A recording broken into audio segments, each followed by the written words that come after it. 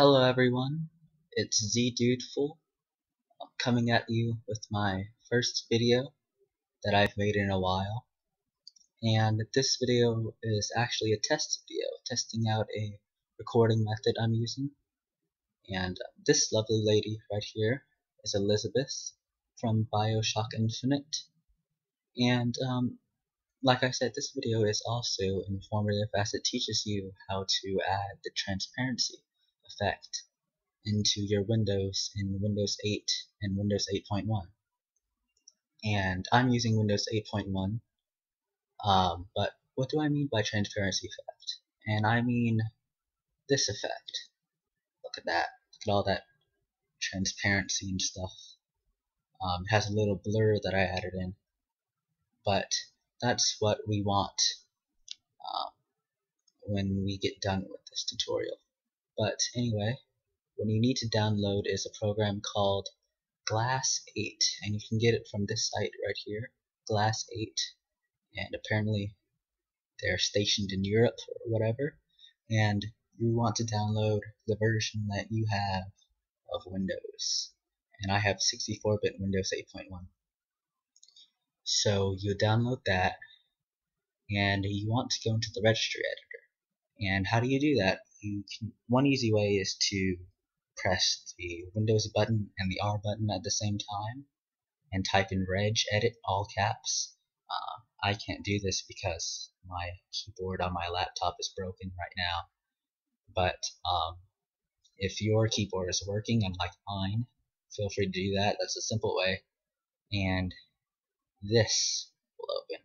Well, uh, not this exactly, but this is the path you'll go through you'll go through here, H key current user, scroll down to software, scroll down to Microsoft, and then further down, all the way down to Windows, and then click on DWM. Okay, and so you'll see a bunch of these random things right here. What are they? Well, they are obviously D words, and you can modify them to change the transparency effect as you want it um, at least for my computer, as soon as I downloaded this program and got it running, um, I think you have to unzip it. Uh, no, that's for a different program actually. But anyway, as soon as I got it running, the transparency effect kicked in. But you can modify that further uh, as you want to. Like you can add more blur to, to um with the value blur deviation. You can also change the color of the captions over the windows with uh, where is it? Color caption right here. And um, you can also add some other values into this like um, if you have a laptop like I do disable glass on battery. And um, you want to modify this value to zero if you want the glass effect to still be active when your um, computer isn't plugged in if you have a laptop. And if it is you'll want to set it to 1 which will disable the effect on battery. It doesn't work immediately. You have to restart the computer or let it take its effect in a little while. But anyway, um, that'll work. Uh, well, keyboard. Um, but you also notice here it says hexadecimal, and you're wondering what is hexadecimal?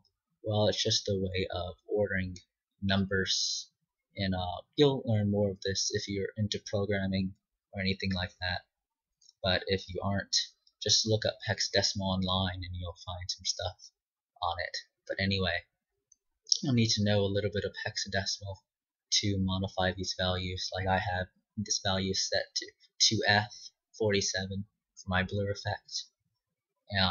And um, I have this value set to 5A, which was the um, regular value that I was set to. This value doesn't actually work in Windows 8.1 this was um, what it would set to defaultly. Um, but it does work in Windows 8 regular Windows 8 um, I have this value set to 5F95 and so if you know hexadecimal you know exactly what I'm talking about exactly what I mean. But if you don't just search some of that stuff on the internet and you'll find that information.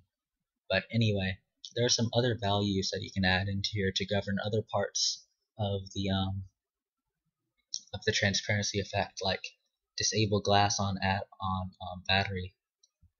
That um, I had to add that in myself. Um, I had to write that value myself to get it working. And um, some of the inactive values, colorization, color inactive, had to add in that value myself. Um, text glow mode, I think I had to add in that value myself too. But there are some other values that you can add in that I'll mention in the description. But anyway, yeah, all you have to do is download Glass 8 from this European site. No offense to the Europeans.